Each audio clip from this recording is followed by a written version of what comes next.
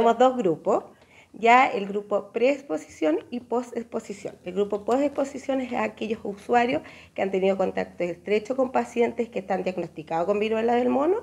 Y el grupo preexposición grupos, son grupos objetivos como trabajadores sexuales, pacientes con VIH entre 18 y 44 años, eh, eh, mujeres embarazadas. Y también tenemos personal de salud que tienen contacto con que procesa las muestras biológicas de los exámenes de viruela del mono. Si las personas se quieren ir a vacunar, ¿dónde tienen que concurrir?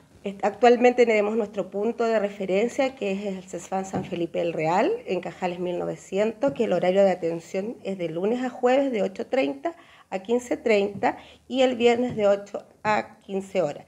Esto debe ser previo una, una consulta, ya que debe ser derivado por un médico que se va a hacer un estudio epidemiológico y esto se va a derivar de acuerdo a su necesidad.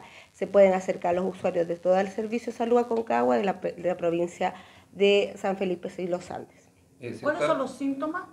Los síntomas son muy parecidos. El primer síntoma y el más eh, importante son el eritema, eh, eritema generalizado, ya que pueden aparecer pequeñas vesículas o enrojecimiento y fiebre, mialgia, fiebre, fiebre, mialgia, es muy parecido a otras patologías con, con exantema.